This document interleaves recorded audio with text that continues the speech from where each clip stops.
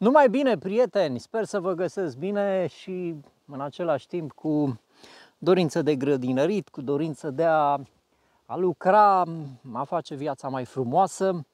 Uh, sunt înconjurat de câteva plante care au peste un metru înălțime. Uh, unii le cunoașteți, am mai avut postări cu ele, alții poate sunt o noutate. Uh, un membru de onoare din familia Brasice sau Crucifere, din familia Verzei, varza cu marea ei familie și valoroasa familia Verzei, pentru că, într-adevăr, din punctul meu de vedere, cea mai valoroasă familie care luptă împotriva cancerului prin proprietățile multiple este familia Verzei, familia Crucifere. Ei, Chei Lucale se scrie cu capa, este un membru de onoare, așa cum spuneam, pentru că are proprietăți fantastice. Am aici mai multe varietăți, există multe, multe varietăți de kale. Uh, se găsește și în România, dați un click pe internet, cale semințe, spre exemplu, și găsiți, există plicuri cu, chiar cu mixturi de semințe, cu două, trei uh, soiuri. Aici am trei soiuri, aceasta este, mi se pare, scarletul, este mov, ce frunză foarte, foarte frumoasă, uitați ce frunză drăguță, cu crețuri pe aici, aici un alt soi. Așa, asta este de Toscana, Nero de Toscana, este așa bășicată frunza, foarte bun și acesta,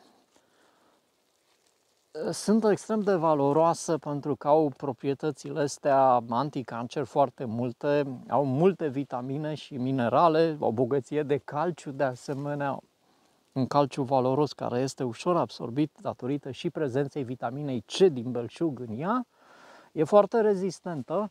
La ierne obișnuite, dacă nu sunt iernile foarte severe de peste minus 20 ceva de grade, în mod obișnuit, pe la minus 15 grade, ele rezistă fără probleme. Trec și iarna, al doilea an este plantă bienală, al doilea an încă mai puteți, uh, fac, fac lăstari proaspeți, mânca frunzele uh, și vor face sămânță. Al doilea an puteți lua sămânța și vă puteți uh, în felul acesta planta propriile plante, dacă nu măcar în primul an. Ce se poate face din ea? În primul rând să o consumați crudă în salate tocate mărunt, se poate băga la sucuri, bineînțeles, cei care vor să facă o cură de sucuri de la supraponderalitate, obezitate, diabet, cancer, boli ale tractului digestiv și tot ce vreți, boli de oase, osteoarticulare, kale, boli degenerative, kale e foarte, foarte bun.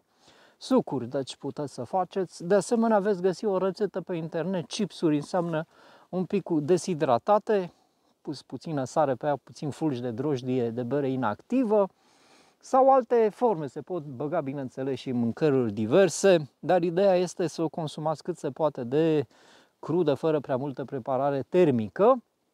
Vă puteți spune varietățile care o doriți. Există și unele varietăți de kale peren, dar se găsesc foarte, foarte greu. Adică o plantați odată și aveți ani de zile 5-6 ani sau și mai mult, dar se plantează ușor, semințele se plantează ca și varza, semințele sunt destul de, de bine, de repede, nu e pretențioasă, nu, eventual omizile poate în anumite zone să o atace sau anumiți, anumite afide, dar în restul puțină apă, un teren bun dacă are, va crește abundent. Uh, încercați și experimentați pentru că este o, o bogăție, cu adevărat de o valoare inestimabilă. Este cheilul, această plantă care am descoperit-o și în urmă cu ceva ani și de atunci ne-am îndrăgostit de ea și cunoscându-i valoarea o tot plantăm în fiecare an. Doamne ajută, multă sănătate, să fiți bine!